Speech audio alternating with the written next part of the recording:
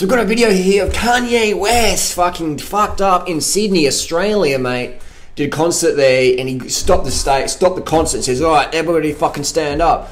There was two people that couldn't physically stand up because one had a prosthetic leg and the other was in a wheelchair. Kanye's like, stand up, stand the fuck up. Unless you got a, what, what's the direct quote? He said, he said, unless you have a special parking ticket and shit, handicap park. So he's been a bit discriminatory there, in my opinion.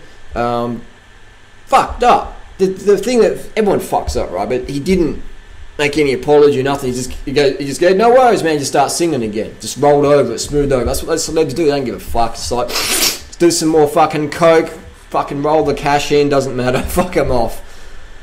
Basically, how you treat people that can do nothing for you is a good measure of your integrity. How you treat people that can do nothing for you is a good measure of a person's integrity. So, what if, if I was Kanye, I'd say, like, bring those fuckers up on the stage and let's fucking finish the song with them. You know, why not? What a fucking tool.